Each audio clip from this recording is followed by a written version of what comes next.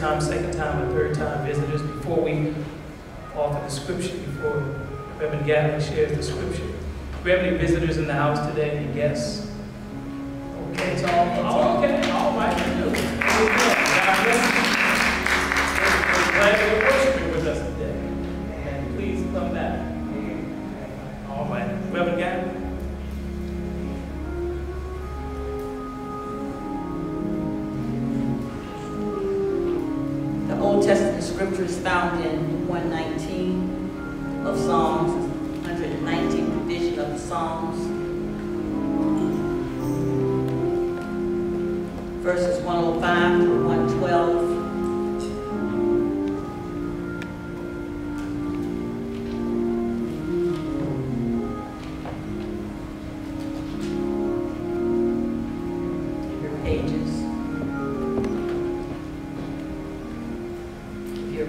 say amen. And it reads like this. Your word is a lamp to my feet and a light to my path. I have sworn an oath and confirmed it to observe your righteous ordinances. I am severely afflicted. Give me life, O Lord, according to your word. Accept my offering of praise, O Lord, and teach me your ordinances. I hold my life in my hand continually, but I do not forget your law. The wicked have laid a snare for me, but I do not stray from your precepts. Your decrees are my heritage forever. They are the joy of my heart. I incline my heart to perform your statutes forever to the end. The word from the Old Testament.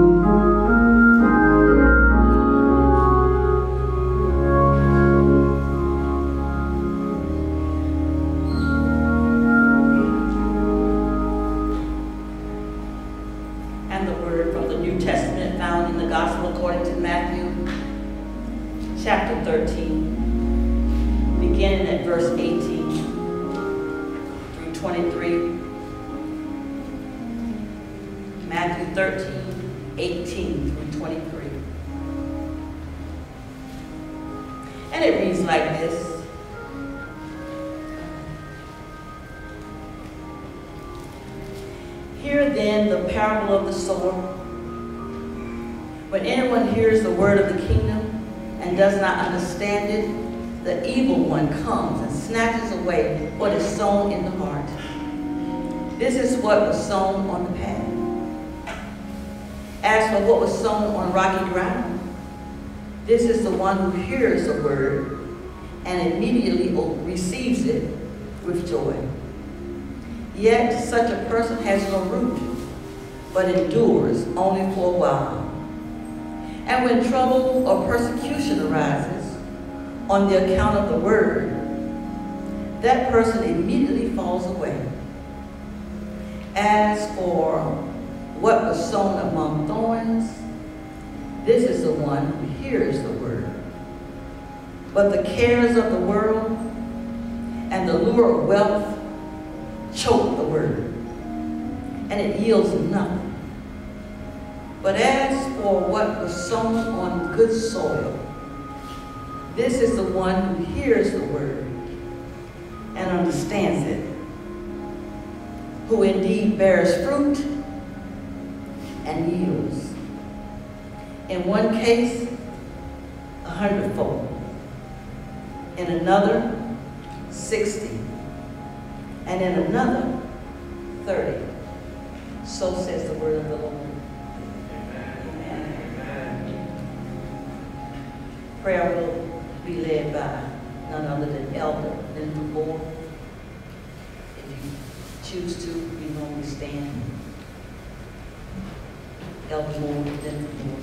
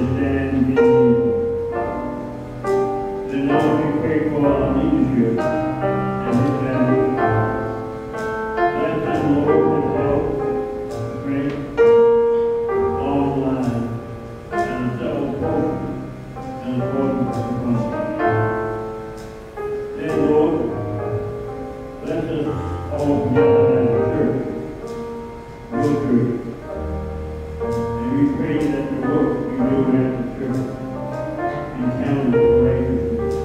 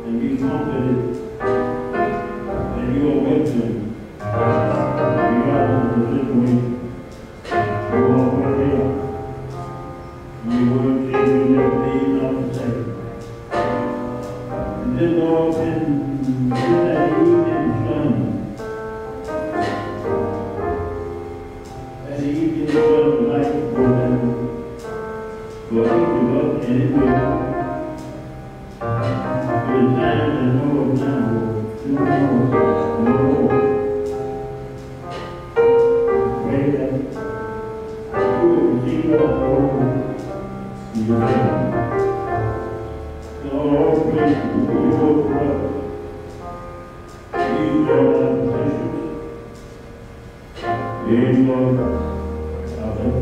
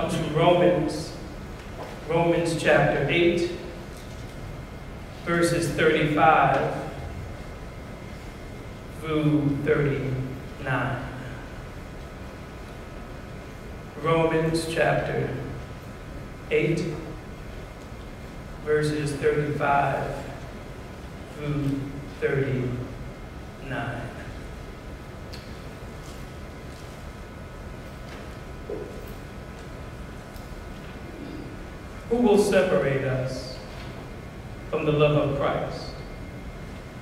Will hardship or distress or persecution or famine or nakedness or peril or sword? As it is written, for your sake we are being killed all the day long. We are accounted as sheep to be slaughtered. No, in all these things, we are more than conquerors through him who loved us. For I am convinced that neither death nor life, nor angels, nor rulers, nor things present, nor things to come, nor powers, nor height, nor depth, nor anything else in all creation will be able to separate us from the love of God in Christ Jesus our Lord. God's word for the people of God. All praises be to God.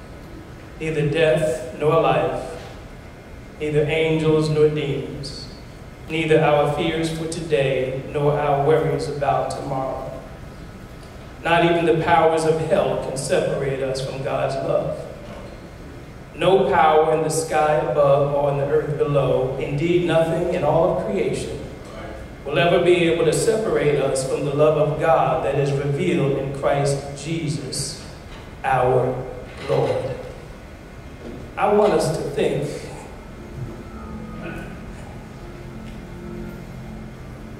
upon the subject of nothing.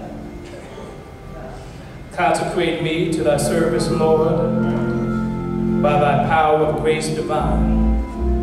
Let my soul look up with steadfast hope. My will be lost in thine. Oh God, as I stand behind this your sacred desk, allow my presence to diminish, O Lord, so that there's none of me, but all of thee.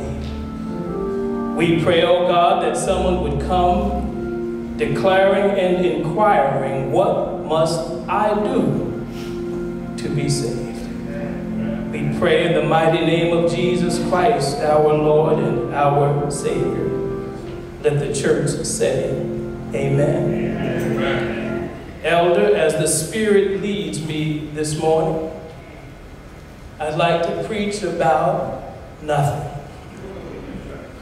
Now, hear me out.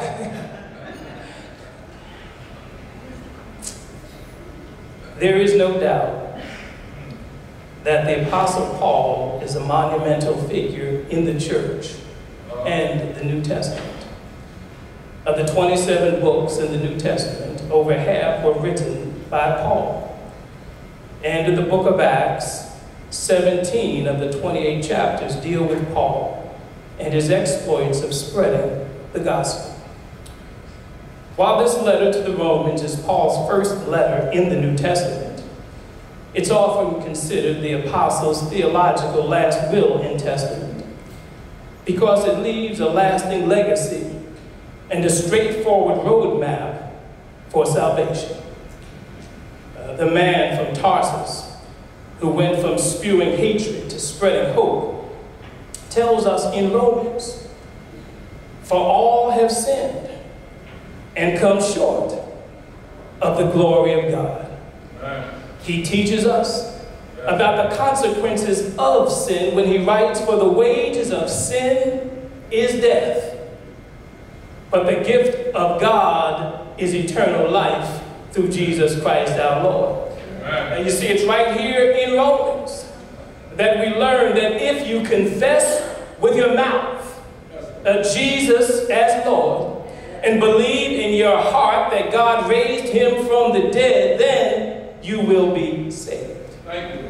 Paul tells us that with salvation, we've been justified through faith and we have peace with God through our Lord Jesus Christ. And finally, right here in Romans, we have a precious promise about nothing.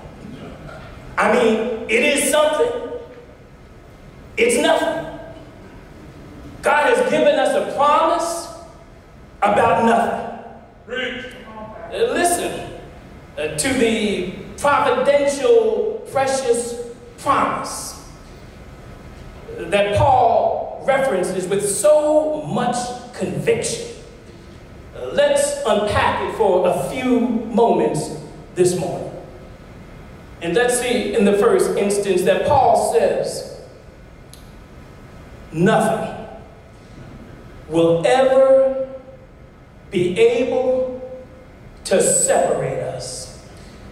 Uh, when it comes to our relationship with God, there is a oneness, a, a holy communion, a, a blessed assurance, a separation we know has to do with estrangement. Uh, but Paul says here that, that nothing will ever be able to separate us. That, that's a bold proclamation. Uh, especially when we consider the Bible is replete with stories of separation.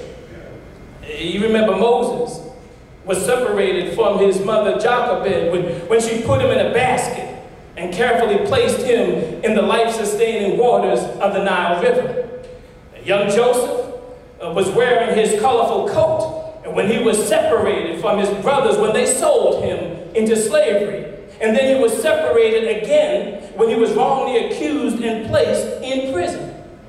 Hadassah, uh, she was separated from her people when she was taken into captivity, uh, forced into an assimilation process, a makeover, if you will, and had her name taken away, and she became Queen Esther. Although Israel has a covenant relationship with Yahweh, again and again it's recalcitrant and it becomes estranged from God.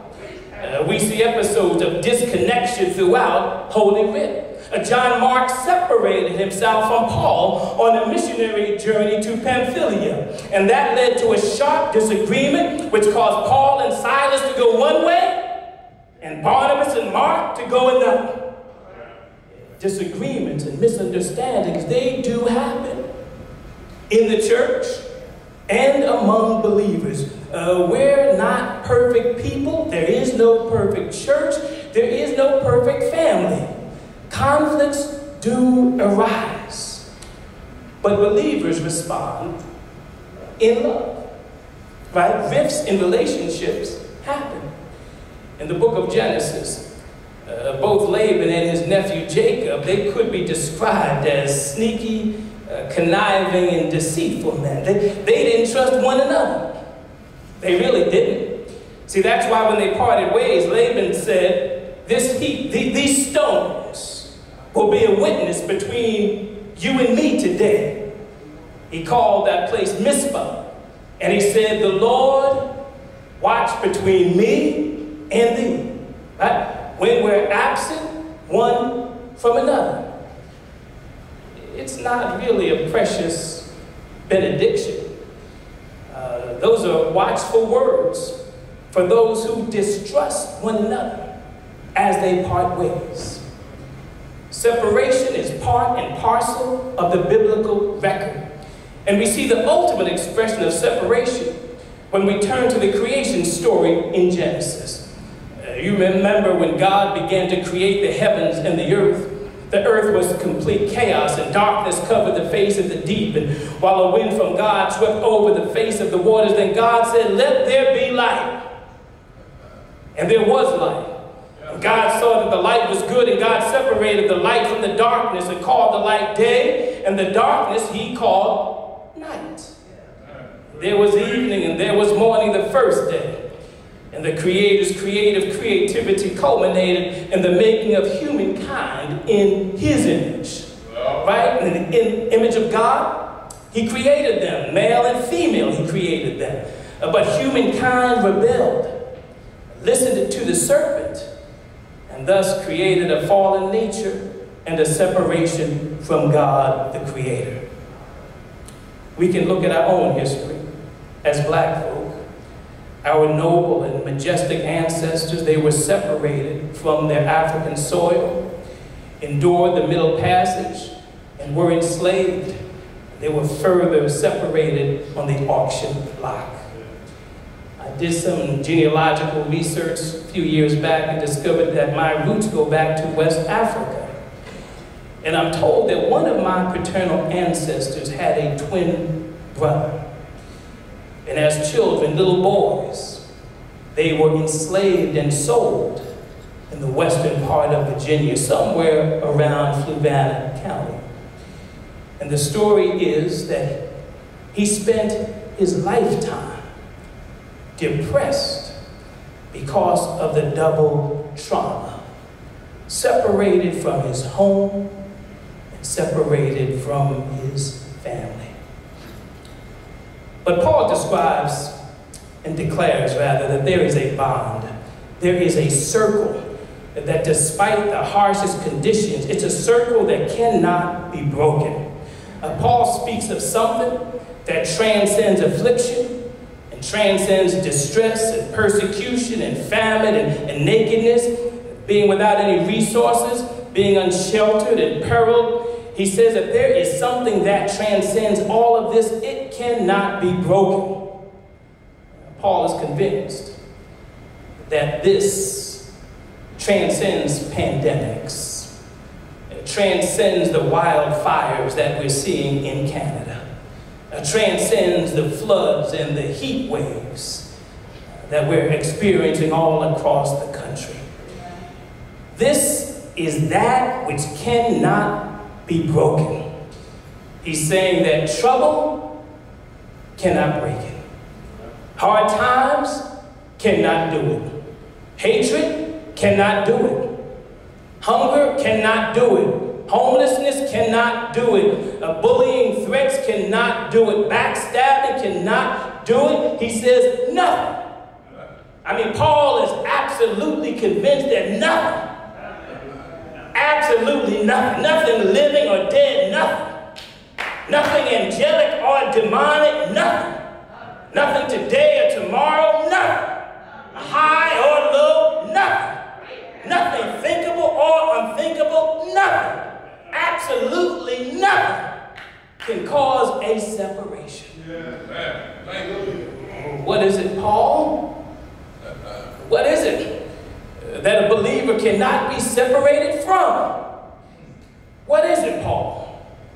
Well, we cannot be separated from God's love. Isn't that the story of Scripture? Even when Israel disobeys God and does its own thing, God's grace is extended and He welcomes them back. Some of us in the house this morning have been like Israel, or we're still like Israel. We're struggling. But the good news of the gospel is that God welcomed them back, and He welcomes us back. Even when we mumble and, and grumble and murmur like Israel, because we just don't understand what, what God is doing in our lives. And we just don't comprehend where He is taking us from and where He is leading us to. That uncertainty can cause anxiety, but God still welcomes us with open arms. Oh, when Jesus tells the story that we, we call the prodigal son, but it's really a story of a father's undying love. Jesus said that once was a man who had two sons. The younger one goes to his daddy and he says, Daddy, I want right now whatever's coming to me. So the father divides the property between the two sons. It wasn't long before the younger son packed up his bags and left and went to a distant country.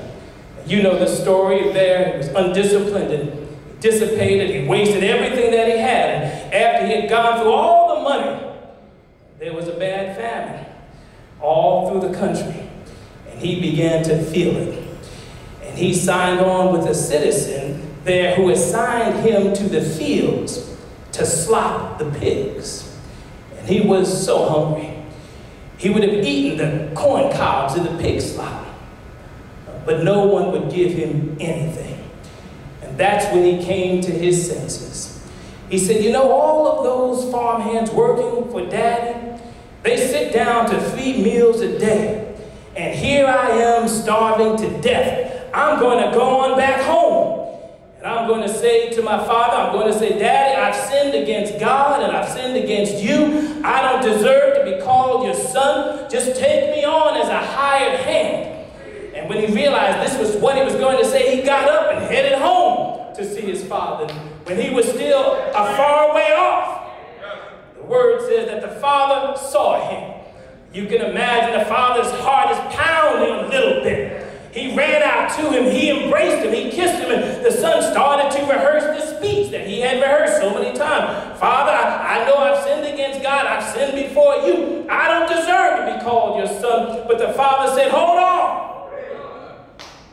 Just, just bring me a clean set of clothes and dress up my son and put the family ring on his finger, some, some sandals on his feet. We're going to celebrate because my son who was lost is now found. And that's good news. Isn't that God's love? That's God's everlasting love. That's unfalling love. That's the New Testament love. New Testament love. The New Testament love, that is agape love. You see, the New Testament talks about three types of love. Eros, that's the romantic type of love. And philia, that's brotherly love or sisterly love. And then there's agape love. It's the highest form of love. It's God's love. It's redemptive love. It seeks nothing in return. Dr. Martin Luther King spoke of God's agape love as the force for fueling the strength and courage of the civil rights movement.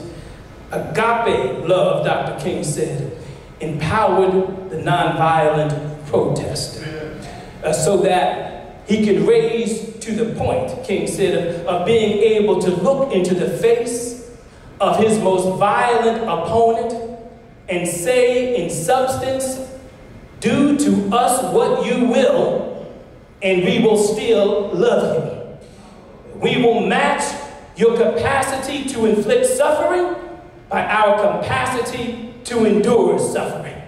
He said, we will meet your physical force with soul force and do to us what you will, and we will still love you anyhow. We cannot, in all good conscience, obey your unjust laws because non cooperation with evil is as much a moral obligation as is cooperation with good. And so, uh, throw us in jail, and as difficult as it is, we will still love you. He said, bomb our homes and threaten our children, and as difficult as it is, we will still love you. Ascend your hooded perpetrators and violence into our communities at the midnight hours and drag us out on some wayside road and beat us and leave us half dead. And guess what? We will still love you. But be assured that we will wear you down by our capacity to suffer. And one day, we will win our freedom, but we will not only win freedom for ourselves, but we will so appeal to your heart and your conscience that we will win you in the process. And our victory will be a double victory. Now, it's hard. Those are hard words to swallow. Barbara, there are some hard words but it is agape love.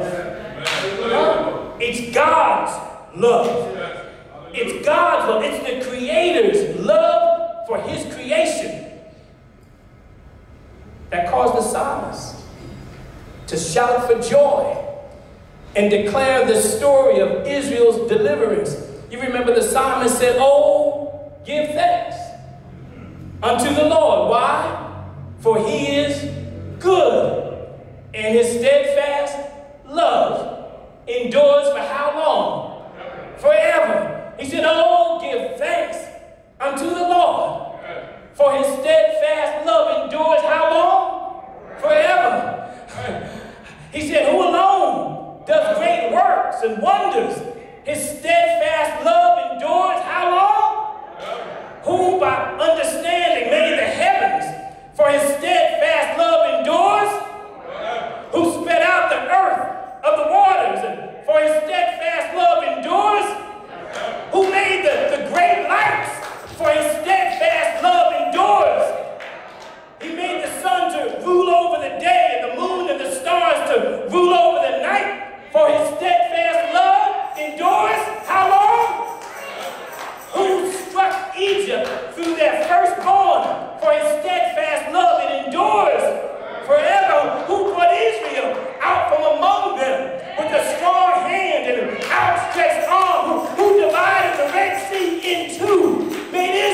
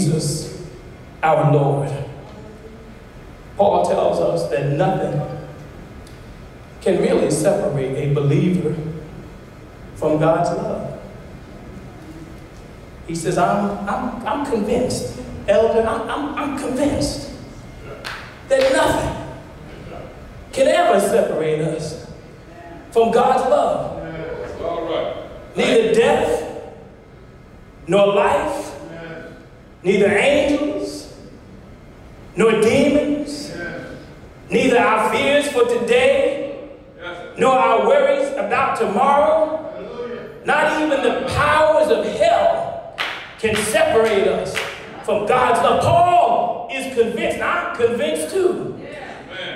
This is the same Paul that intimately understood and withstood hardship. It's Paul who said that, that he had worked much harder than anyone. He said that he had been jailed more often. He said he was beaten up more times, he said, than I can count. At death's door, time after time. I've been flogged five times with the Jews' 39 lashes, beaten by Roman rods three times, uh, pummeled with rocks once. I've been shipwrecked three times, immersed in the open sea for a night and a day, and hard traveling year in and year out. I've had to ford rivers and fend off robbers, a struggle with friends and struggle with foes. I've been at risk in the city, at risk in the country, endangered by desert sun and sea storm, and betrayed by those I thought were my brothers. I've known drudgery and hard labor, many a long and lonely night without sleep, many a missed meal, blasted by the cold, naked to the weather, and that's not the half of it. When you throw in the daily pressures and anxieties of all the churches, when someone gets to the end of his rope, I feel the desperation in my bones. When someone is duped into sin, angry fire burns, he says, in my gut. And yet, the apostle has the audacity to proclaim a godly love that can be expressed as a nothingness kind of love. Nothing. No power in the sky above or in the earth below. Nothing in all creation will ever be able to separate us from the love of God that is revealed in Christ Jesus our Lord. There was separation. It was the fall of humanity. Uh, But I believe someone here knows that God is a waymaker. Uh, that he made a way to bridge the gap from damnation to deliverance. He made a bridge to reconnect our broken humanity, to reconnect our broken lives. What was disconnected is now connected again. Jesus Christ does what the law of Moses could not do. The law of Moses was unable to save us because of the weakness of our sinful nature. So God did what the law could not do. He sent his own son in a body like the bodies that we have. And in that body, God declared an end to sin's control over us by giving his son as a sacrifice for our sins. Uh, don't you know that God so loved the world that he gave his only begotten son so that whosoever believes in him will not perish but will have everlasting life. That is the good news this morning when we talk about nothing. God sent his son. They called him Jesus. He came to love, heal, and forgive. He bled and died to buy my pardon. And don't you know an empty grave is there to prove my Savior lives? And because